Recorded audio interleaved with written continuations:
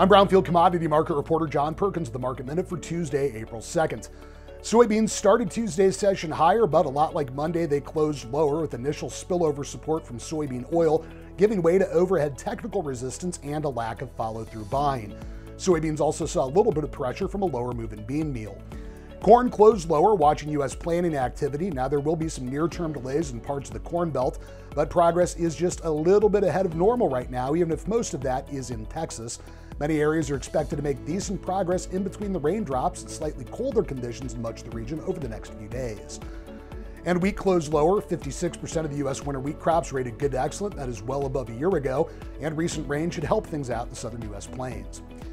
Live and feeder cattle were higher, getting ready for widespread direct cash cattle business. Things remained fairly quiet during the session. That allowed traders to buy, back part of yesterday's losses. And hogs were mixed, mostly higher on spread trade and the higher midday move in pork, with another quiet day for cash during the session. With the market minute for Tuesday, April 2nd, I'm Brownfield commodity market reporter John Perkins.